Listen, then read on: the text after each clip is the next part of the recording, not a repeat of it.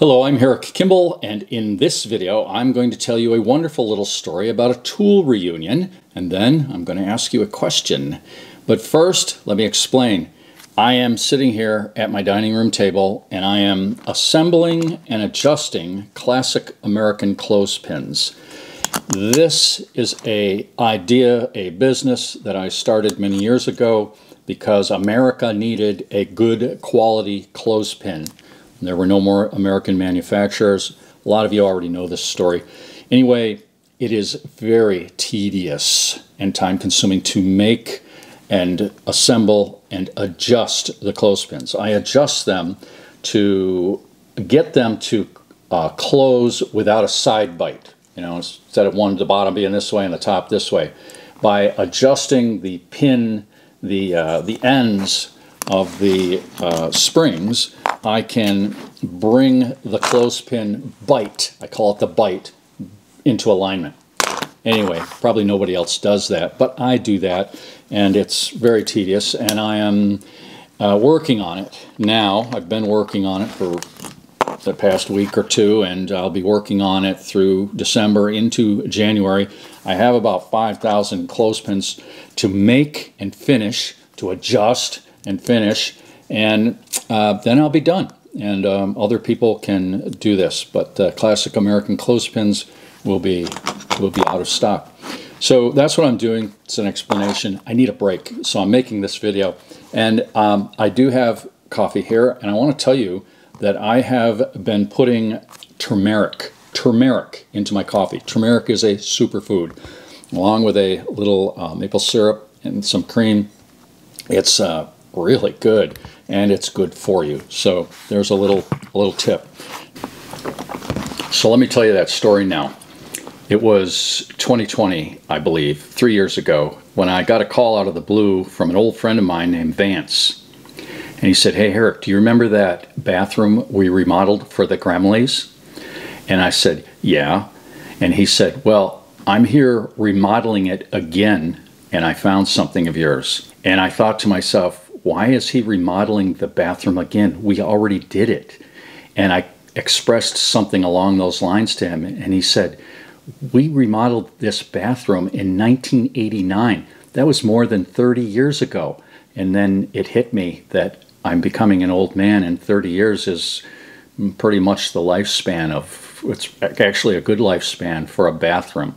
So Vance was redoing the bathroom. He sent me a picture. This is the picture right here and it shows that I actually signed and dated this bathroom.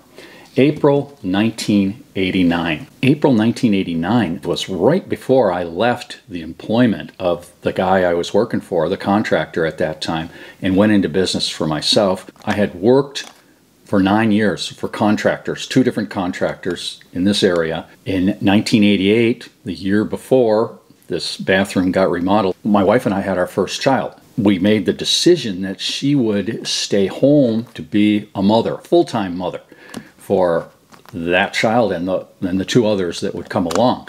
So um, that was a, an economic adjustment because she always made more money than me. She was a medical office assistant for a local doctor. We uh, had to adjust, and part of the adjustment was I figured I got to step up to the plate here and make more money, and the only way I knew that I could possibly do that was to go into business for myself. So me and my friend Steve, who I've mentioned in previous videos, went into business for ourselves. We called our, our company Best Built Construction. We had a good run.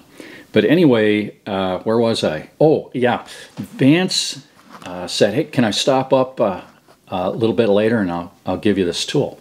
And I said, yeah, sure. So he stops up and he comes in and he says, remember this? And for a minute, I didn't remember it. And then I did remember it. It had been missing for 31 years. And he knew it was mine because I uh, very neatly, with a utility knife, scratched H.C. Kimball into it. It's barely visible, but it's there. So this is what's known as a perfect handle screwdriver. And it's an old style, but I bought this new. It was made by Irwin. Irwin USA. It was made in USA. I believe I bought this at the Woodcraft store in Woburn, Mass. Massachusetts, I should say. Yeah, I lost it. I lost it and it came back and I was delighted to have it. It's a very solid screwdriver, flat tip. Don't use that very often. I don't know what I would have been using it for. Maybe I was prying up the bathtub or something like that. who knows? But it it's a great tool and it reminds me, this tool reminds me that when I started out in the building trades, I tried to buy good tools with the thought in mind that I'm going to buy good tools and they're going to last me for my whole life, for my whole career, right up till the end, right till I'm an old man. I'm going to buy good tools and take care of them and they're going to last me.